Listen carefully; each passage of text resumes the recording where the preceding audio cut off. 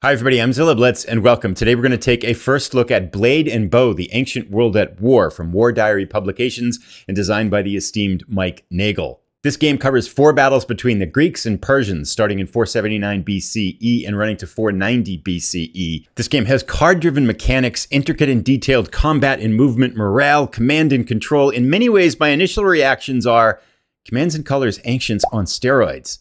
Let's jump in and take a look at the components and offer some initial impressions on gameplay. Before we start in and look at the components, let's set a little bit of context around this. There are rule references in here to this being the first volume in a series of quad games exploring ancient World of War combat. And while this game has Greek versus Persian scenarios, and we'll talk about those momentarily, there are rule references, for example, to Roman units, and there are rule references to some types of um, counters that aren't present in this rule set. So this clearly has a, a design vision of being the first volume in a number of volumes exploring the ancient world at war using this combat system.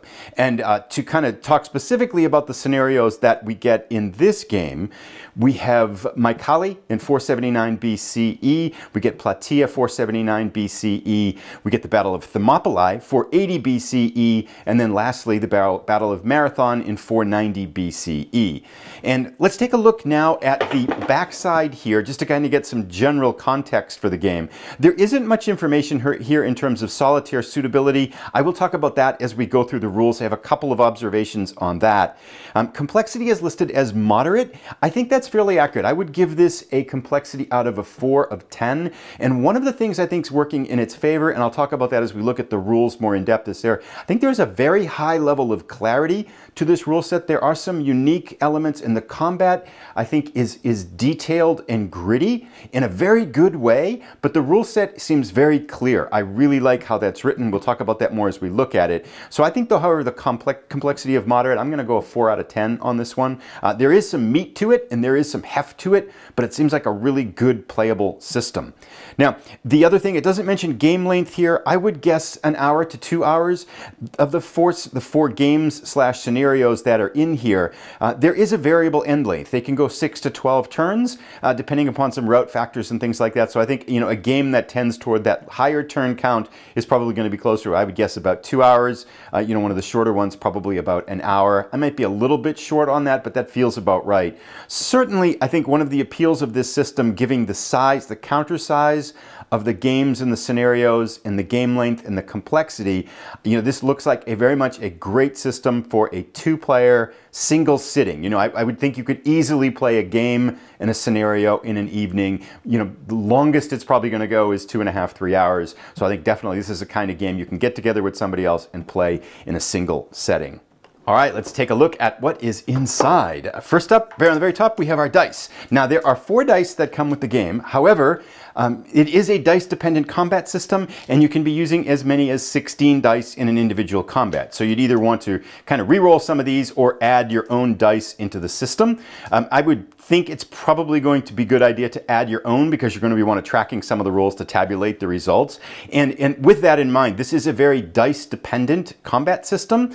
So uh, you, instead of having die roll modifiers, you're often going to be adding dice to the combat, looking to kind of positive results for you on a one or a two or a five or a six. There are some reroll options, but some of these combat, the dice roll the dice roll additions would be depending upon what your rank, how many ranks of uh, uh, units you have, how many ranks of forces you have in the combat. Uh, the angle of attack and leadership and things like that will be modifying how many dice you get to use in combat. Now, there's also a deck of cards. We'll come back to that momentarily. Let's start, however, with our 24 page rulebook. Um, there is some informational here, information here on other War Diary games, as well as their outstanding uh, high quality magazine that's worth looking at if you like wargaming magazine content as well. Now, 24 pages again, the back page is promotional material. We get some designer notes on the back page here, some scenario, uh, historical context behind all the four scenarios here that stretch back to page 18. So really we're looking at 17 pages of rules with the rules starting kind of on page one. Now, a couple of general comments about the rules. They're very traditional layout. Um, we have a, a, moderate amount of graphics, although they are text heavy. A very nice movement example here that I think is very helpful for talking through the rules. I've made a pass through the rules. Uh, my general impression of the rules are they, the, the, clarity behind the rule writing is excellent, really, really good. As I'm reading individual paragraphs and looking through things, it's very, very clear what's going on. Um, I've only got kind of one lingering question on the re-roll of dice, but I think that's just because I haven't quite sorted out a section here. But my initial impressions of the rule sets, are, the rule set, it's, it's quite good in terms of not quite good. It's very good in terms of writing and clarity of writing. I think this is going to be a very playable system. All of the uniqueness of movement and the uniqueness of combat seem to be very clearly explained. Now, caveat, I, you don't know for sure until you start to play, but my initial impressions of this rule set are very, very good. And just as kind of walking through some of the mechanics that we have in here, some of the bigger ones, leaders play a very significant role on what happens. Movement is very kind of uh, detailed and intricate, and we'll talk a little bit about that as we look at some of the square maps and some of the rectangular counters. Looks like a really cool system that gives you um, eight different coordinate kind of directional points for units and things. Uh, there's ranged combat, of course, for your bows. We get melee combat, which has a really neat influence of morale. Now, morale isn't mentioned here in the top part because morale kind of weaves its way through all of the elements. Uh, you know, you need kind of sometimes a morale check to get involved in melee combat. There's a routing system, a rally system that involves with things like disruption. You have a camp that's going to kind of kind of help with rallies and leadership and things like that. Uh, and then some unique things here, which shield walls, a type of defense. But it really seems like the research behind making this combat system reflect the combat and tactics of this time um, has been quite good. So it, it looks, it, it feels like ancient combat. It's got a really good feel to it, and I think the rule set articulates that well. Let's take a look now at our cards. There's about 60 cards in the game here, and they play um, three different functions within the game. So you can add them either as uh, the top part here, which is a melee commitment, using them in a particular, and going each side's to have a hand that they're going to be playing and drawing and things like that and playing them. But there are basically three components to them. There's a melee commitment on the top here, there's an event part in the middle, and then there's this is a part that you draw at the beginning of a different phase where it's going to indicate how many command actions you have depending upon the quality of your leader. There are four different uh, colors that leaders can be distinguished by. So you're to have an impulse-based turn system that's going to dependent on the quality of your leader as to whether you're going to get as many or more or fewer impulses than your opponent. You can use these cards as kind of enhancing individual combat, melee combat situations, or you can be playing them as your events. So a lot of fun, really neat systems here for looking at these events. The events I've looked through these, these look really cool. Looks like there's a lot of different ways to play these. And this, I think, is point number one that I would like to make in the solitaire kind of evaluation of the game. You know, there, there is some some element here when you talk about bolt players having cards. Um, if you're playing that solitaire, you lose a little bit of that hidden nature between behind what you know, what cards do my what does my opponent have, and so that's thing. I don't think it's a major influence on solitaire play, but it is something that kind of is different in a two-player version when you don't know what cards your opponent have or what your, you know what your opponent is thinking about with cards. That's going to impact that solitaire play there. But a lot of fun. Looks like a really good kind of uh, kind of very creative and very uh, appropriate appropriate set of events for this time and period. Looks like it's going to be a really fun system, and I like kind of the variety of ways uh, between the melee commitment or the event that you can be using the cards in particular situations take a look at my favorite favorite parts of the game here now, the components, the, the, counters here. There are two counter sheets. Let me get them out here. Um, I think we can actually go through this one first. Uh, these are the units. The second one is, is actually almost exclusively markers. These are our units. We get blue and red, one for the Persians, one for the Greeks. And again, I think that coloring system is probably got a vision towards the future. There isn't anything that distinguishes these units by nation. So these, I think, would be counters you could probably use in subsequent sets or making up your own scenarios and things. We have basically three different types of units on this page. We have the camps, one for each side, which is kind of your headquarters, if you would. Then we have the various combat units, and then these smaller square counters are the leaders. Now these are all laser cut. You can actually see some of the, the, cut, the burns from the laser that's gone through here off to the sides of the counters. Very light, I think a kind of a low gloss matte finish to them. They look really good, very legible and things like that. We've got, just in terms of looking at some of the units, we've got light cavalry bows. There's a ranged component to it. Uh, Peltast Immortals are in here. Hoplites are in here. So a lot of different kinds of units that represent the different types of formations that were in this period. Now, let's take a look at our second component here, which is the whole counter set that adds a very unique dimension to, I think, this combat system. So what we're looking at here are ranks. And basically what that means is, this is another element that I think impacts the solitaire play a little bit. Um, the unit by itself, if you see just one, the counter by itself, oh, also too, it's worth mentioning, there is a disruption side, right, to the other side here. So units can be disrupted in combat and you would be flipping them over and they can get disrupted in a number of ways, through combat results or through movement and things like that. Um, you're leaving enemy zones of controls and stuff like that can impact that there. But by itself, the default here is kind of a generic one rank, but you can be adding ranks to your units. And you put these rank counters underneath the counter itself. And there are limited times as to when your opponent can examine your units. They have to be either like in an enemy zone of in zone of control when you can see them or viewing them from the side. So there is a certain kind of fog of war element and in each scenario you've got some flexibility as to where and how you apply ranks to units during your setup.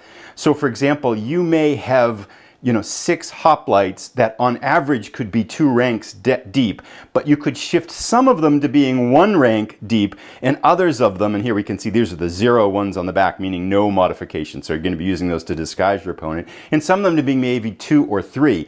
And that is an element that I think you know, is impacts the solitaire play because if you're playing that two player, you've got a lot of ability maybe to overload one side of your form formation or, you know, empower the middle of your formation with a chance to punch through the enemy and cut them in half. And that's something that when you're playing at solitaire, you're obviously going to know how you set up each side and what you're thinking about it. Again, I don't think that's a game breaker for solitaire. I think because of that in the card deck, I would say this kind of levels out about a five out of 10 as a solitaire experience with the two factors that are influencing that, the, that you will lose that hiddenness and that fog of war that's evident when you're putting these kind of rank counters underneath your combat units to distinguish the actual depth and strength of that unit.